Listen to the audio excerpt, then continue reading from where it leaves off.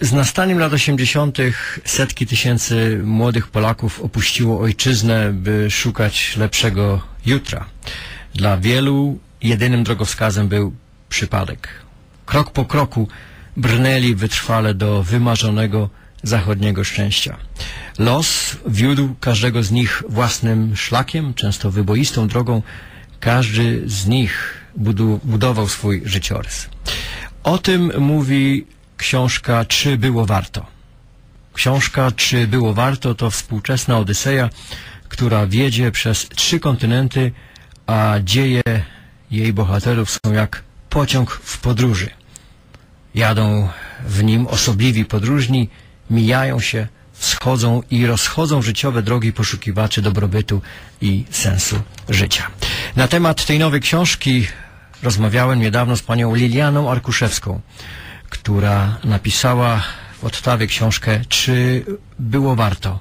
Odyseja dżinsowych Kolumbów. Oto zapis tej rozmowy.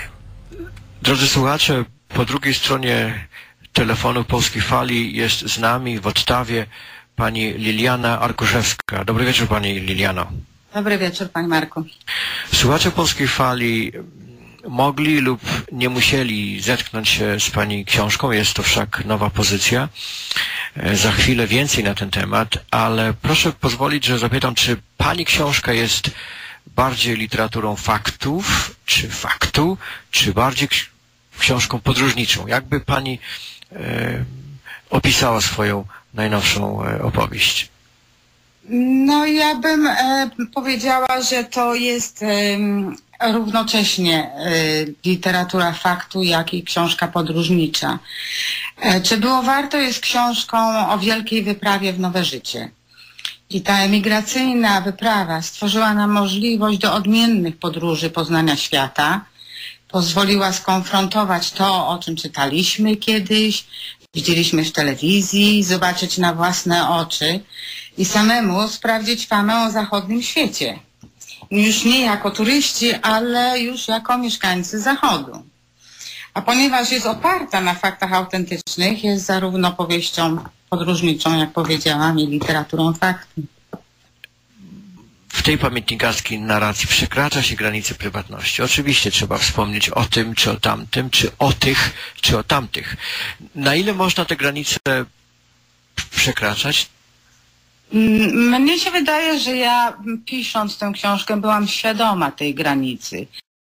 E, Po prostu skupiałam się na faktach, a nie domysłach lub zasłyszanych historyjkach czy plotkach. Starałam się oddać tą ówczesną rzeczywistość, opisując własne spostrzeżenia i towarzyszące im uczucia. Zależało mi na tym, aby ta książka była szczera i prawdziwa. No i wydaje mi się, że, że, że taką jest.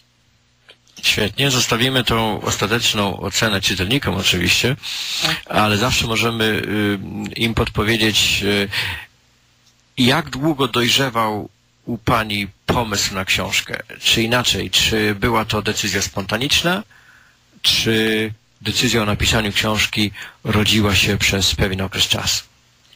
Więc idea napisania książki przyszła spontanicznie. I tak przyszła od razu z tytułem. E, tak też w życiu bywa, że e, wstrząs uczuć, emocji spowodowanych albo wielkim szczęściem lub e, nieszczęściem lub jakimś życiowym zawodem rodzi pomysły. I tak się stało u mnie.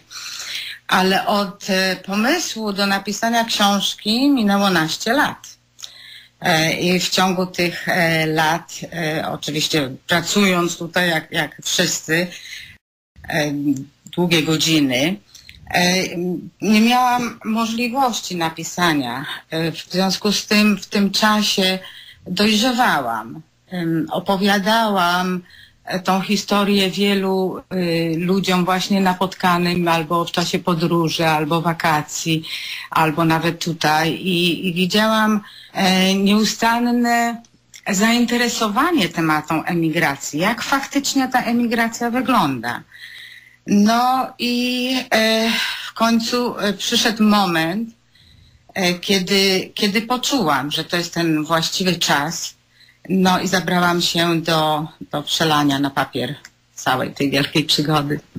No właśnie, aż nasuwa się następne pytanie, jak długo to przelewanie na papier przygody trwało? Jak długo e, pisała Pani książkę, Pani Liliano? E, książkę pisałam trzy lata. I pisałam ją e, bardzo intensywnie, codziennie po kilka godzin. E, nawet jak miałam jakąś blokadę i, i nie wychodziło mi to, to, to siedziałam i pisałam. Po prostu nawet klepałam w klawisze. Starałam się e, nie mieć dnia przerwy, bo bałam się, że, że wypadnę z transu. Trzy lata i, i, i codzienne pisanie, po kilka godzin nawet. Przychodziłam z pracy, jadłam i szłam na górę i pisałam, pisałam, pisałam gdzieś tak do pierwszej, drugiej nad ranem. Później spanie, wstawanie do pracy i tak w kółko przez trzy lata. E, po trzech latach wysłałam manuskrypty do wydawnictw w Polsce. No i z sercem na ramieniu czekałam na odpowiedzi. W tym czasie, żeby sobie zapełnić e, tą, tą lukę, to, to założyłam blog owocdecyzji.com, w którym pisałam też artykuły, pisałam o, o, naszym życiu tutaj. No i równocześnie starałam się promować książkę. To są obecnie inne czasy, w związku z tym e, podpowiedziano mi, że powinnam zaistnieć zanim ta książka wyjdzie. E, No, w końcu dostałam odpowiedź pozytywną e, z wydawnictwa Nowa Res i e, wydanie książki zajęło mi dokładnie półtora roku, czyli cały proces trwał cztery i pół roku. Czy książka się nie zestarzała? Pewnie nie, ale te 4,5 roku e, kusiły Panią o wprowadzenie czegoś nowego, pewnych zmian, pewnych nowych pociągnięć pióra? E, nie, właściwie mnie to nie kusiło. Ja chciałam od tego odejść, bo jak już czytałam tą książkę, ym, oczywiście przed wysłaniem do wydawnictwa starałam się ją sama zredagować, ale, ale już nie widziałam, nie widziałam błędów, y, to było bardzo trudne, także ym, przed samym wydaniem jeszcze usiadłam raz i, i przeczytałam i poprawiłam, bo to można poprawiać w nieskończoność. Także w pewnym momencie odpuściłam, powiedziałam koniec, wysyłam. Wysyłam do wydawnictwa, no i potem podpisanie umowy e, trwało jakieś dwa miesiące. Mm, Następnie była redakcja książki przez e, redaktora e, wydawnictwa, e, później korekta, e, projekt okładki. Pracowałam z wydawnictwem razem w tą i z powrotem wymienialiśmy pomysły i, i stworzyło się to e, dzieło. I nie sądzę, żebym coś zmieniła nawet teraz. Dodać raczej bym nie chciała, dlatego, bo książka jest bardzo obszerna. Ona się zaczyna w Polsce, prowadzi nas przez całą tą emigrację, później e, życie tutaj, podróże. E, W związku z tym e, materiału miałam bardzo dużo i raczej, raczej obcinałam ten tekst. Ponieważ w zamyśle była trylogia, to zostawiłam wiele, wiele opowiadań na, na drugą książkę. No, zdradza Pani mm, e, przyszłość autorską znakomicie. Tytuł obecnej książki opatrzony jest znakiem zapytania, czy było warto. Tak. E, Czy w tej pierwszej części trylogii, w tej Pani książce pada odpowiedź na postawione w tytule pytanie? E, O ile dobrze pamiętam, to chyba raz odpowiedziałam na to pytanie, ale, ale to pytanie jest odpowiadane e, w domyśle wiele razy. Ta odpowiedź jest za każdym razem inna.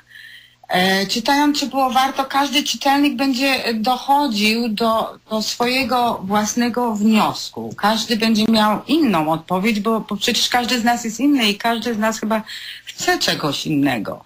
Także sądzę, że te, że te odpowiedzi będą, będą różne w zależności od, od osoby czytającej. Czy książka jest dla imigrantów, dla tych, którzy mieszkając poza Polską ciągle czują się swobodnie czytając e, książki w języku polskim, czy dla wszystkich? Mnie się wydaje, że tą książkę powinni przeczytać jedni i drudzy. Ci, którzy wybrali się w tą wyprawę, tak jak my, emigranci, bo y, sądzę, że życie każdego emigranta to jest książka. Tych powieści każdy emigrant e, może napisać, bo każdy ma na pewno ciekawą historię. Każda jest inna. Ja sama jestem bardzo ciekawa historii innych. One, one, one są e, po prostu e, zadziwiające bardzo często. Także emigranci m, będą mogli się z tą książką utożsamić, y, widzieć siebie w tej, w tej wielkiej podróży. Natomiast y, ludzie, którzy nigdy nie wyjechali, a tak jak powiedziałam, że ile razy mówiłam o emigracji, to, to zawsze widziałam zainteresowanie w Polsce y, tematem emigracji, jak faktycznie było. I sądzę, że jest bardzo dużo ludzi, którzy e, myślało o emigracji, chciało wyjechać, z różnych powodów nie wyjechano. I, I w związku z tym e, ta książka będzie dla nich, bo mm, w niej jest równocześnie dużo faktów, jak ta emigracja e, przebywała, w jaki sposób była załatwiona, początki tej emigracji, e, formalności związane z emigracją, no i później nasze życie tutaj na emigracji. Także e, e, Obecnie czytają w Polsce tą książkę i bo ona została wydana miesiąc temu, także jest świeżą książką na rynku. No a od dwóch tygodni jest już e, w księgarni Polimexu w Toronto, która prowadzi sprzedaż wysyłkową. Także jest dla, dla nas, dla, dla emigrantów, y, kan, polskich Kanadyjczyków, którzy tutaj mieszkają i przeszli zapewne bardzo podobną drogę. Pani jest tą osobą, która tą drogę przelała na papier, emocje i wzruszenia tej, jak pani powiedziała, podróży, przygody migracyjnej przelała na papier. W jednej z recenzji, mm, którą znalazłem, jest napisane, czy warto było? Ta książka jest jak dobra muzyka. Wzrusza, raduje, unosi, pobudza, uspokaja, zastanawia i uczy. Życzymy sobie tych wrażeń przy lekturze pani książki, pani Liliano. Polska Fala rozmawiała z panią Lilianą Arkuszewską z Toronto, autorką książki Czy było warto Odyseja jeansowych Kolumbów. Bardzo dziękuję za tę rozmowę, pani Liliano. Dziękuję bardzo Panie Marku.